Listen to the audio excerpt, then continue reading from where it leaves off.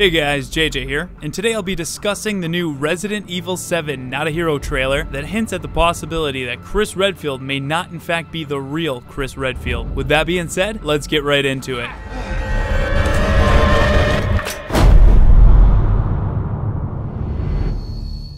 Recently, Capcom dropped a new trailer for the upcoming Not a Hero DLC. While it showed us a lot of the same content we've already seen in previous trailers, this new trailer featured Pete from Sewer Gators. Sewer Gators was a show that was being filmed in Resident Evil 7. For those of you that don't know, Pete from Sewer Gators is also Pete in real life and is a senior manager of the Global Research and Development Department at Capcom. In this trailer, Pete questions Redfield saying the same thing many of us fans have said when we found out that Chris was in the game. Pete says, isn't he supposed to be the hero, but he's working for Umbrella. But Umbrella went under. I don't know what's going on. Then, at the end of the video, Pete holds up a picture and says, Are you sure this is the? And then the screen cuts out, which heavily indicates that he was about to say, Are you sure this is the real Chris Redfield? We couldn't actually get a glimpse of what was on the picture, but it's not hard to see what Capcom was trying to do with this trailer. I have to admit, I was very interested hearing Capcom acknowledge people's reactions to the new Chris Redfield. But does this mean this isn't the real Chris Redfield? Well, I wouldn't get your hopes up. Chances are, Capcom is just trying to take advantage of the controversy surrounding Chris Redfield and use it to stir up the community once again to build hype for Resident Evil 7 Gold Edition, which is set to release in December. One thing many fans don't realize is that the controversy surrounding Chris Redfield is actually a good thing for Capcom. People are talking about it, people are posting about it on social media. This is basically free promotion for them, so it only makes sense that they would take advantage of the situation. In my opinion, I would have preferred to see the most recent version of Chris Redfield we've seen in some of the latest titles, but honestly, at this point, I could really care less. I just want to know why he's working for Umbrella. But I want to know what you guys think. Do you think this may in fact not be Chris Redfield? Or maybe this is just a promotion tactic by Capcom? Or are you like me and you quit caring a while ago? Let me know down in the comments. I'll leave a link to the trailer down in the description so you can watch for yourself. If you enjoyed this video, please leave a like, and for more Resident Evil content like this, be sure to subscribe. The Residence of Evil is a Patreon supported show, so if you'd like to see your name here in the credits